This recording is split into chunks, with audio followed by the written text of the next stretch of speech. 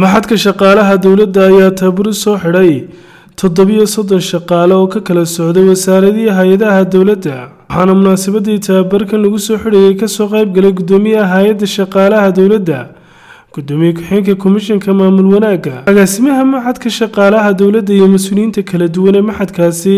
Ugu horeyna halkaasi waxaa ka hadashay amaal saleebaan hagoog oo qaabilsan tababarada gaagaaban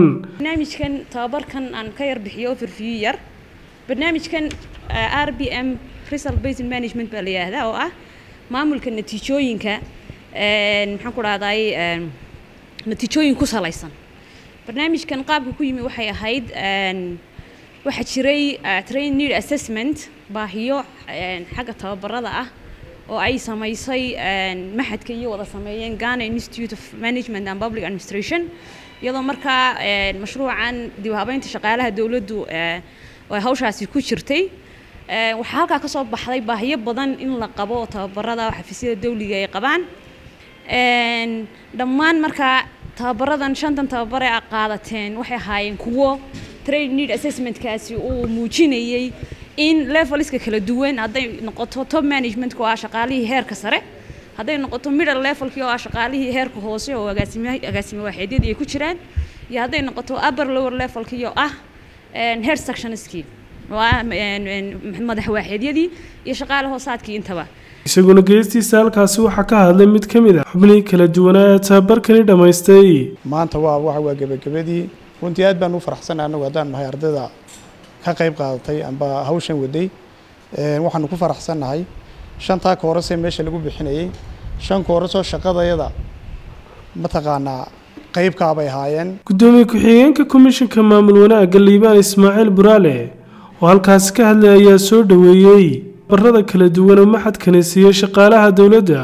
Un waxa weeyaan maxadku inuu si aqooneed hawshiisa iyo qorshihiisa iyo budgetkiisu institutionada isu leeg uu yahay si fiican iyagu hawshaa ay uga muuqato waayo maxadku waxa weeyaan haddaan isagu qorsho fiican samaysanin oon qorshihiisaan qiimaynay markaan qiimeynaynay bishii hore aanay si fiican bay isu leekaayeen marka haddaan qorshayaashu saa isu leekaan waxaa laga filan karaana wuu koobnaanaya. Marka maxadka hawsha ay qabteen iyo inay aqoontii horta iyagu maxadka ku dhiseen oo ay iswaafajiyeen waan ku bogaadinayaa. Idinka maadaama tababarkan aad qaadateen umaydaan qaadan oo keliya uun xafiisyada dowladda inaad kaga shaqaysaan. Laakiin waxa weeyaan bee-adda oo dhan inaad wax kaga beddeshaan ayaa muhiima. Iyaguna dhankooda halkaasi waxaa ka hadlay agaasimaha maxadka shaqaalaha dowladda cumar iid qolambi iyo guddoomiyaha hay'adda shaqaalaha dowladda farxaan aadan haybe. Markii la sameeyey qiimeyn hay'adda shaqaalaha dowladda iyo maxadka tababarka shaqaalaha iyo Ghana Institute of Public Administration and Management ay isla qaateen inay yihiin tababarada muhiimka u ah shaqaalaha dowladda. Qiimeyntii la sameeyey. Tababaradaas si gaabka aan u buuxino waxaan sanadka noo qorshaysnaa afar iyo labaatan tababar inaanu qabanno. Almost tababarada intoodii badnayd waanu qabannay. Kanina wuxuu ka mid ahaa tababar isku xidhnaa buu ahaa oo shan tababar oo kala duwana laakiin backage isku ahaa qof kasta oo shaqaale ahna laga sugayay inuu dhammaysto shantaa tababarba. Marka waan ku faraxsanahay in labaatan ka mida shaqaalihii dowladdu ay sidii rasmiga ahaydee loogu talagalay u dhammaysteen sidoo kale waxaan ka xumahay in ku dhowaad dhowr iyo toban shaqaalaha ha ka midihi aanay tababarada wada dhammaysan qaybahoodii kala duwanaa.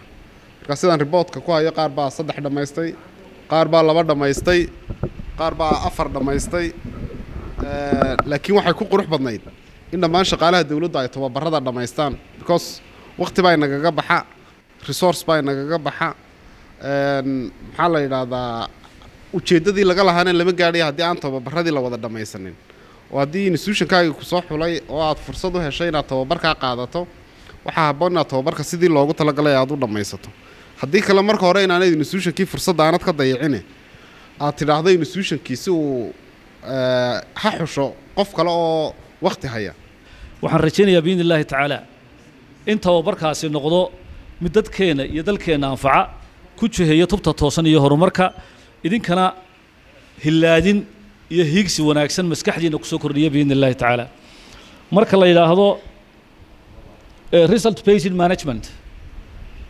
iyo result based monitoring and evaluation. labadaas baan ka qaadanaya noloshaada oo dhan buu ku anfacaya ma aha work environmentka shaqada iyo bii'addeeda quran maaha noloshaada gurigaagu ku anfacaya iska da wax kalo inaad waxaad maamulayseed maaraynayso si wanaagsan u sawiri karayso maxsuulku keenayo. Iyadoona halkaasi shahaadooyin kala duwan lagu guddoonsiiyey xubnihii tababarkani dhammaystay. Cismaan axmed ismaan saab t v hargeysa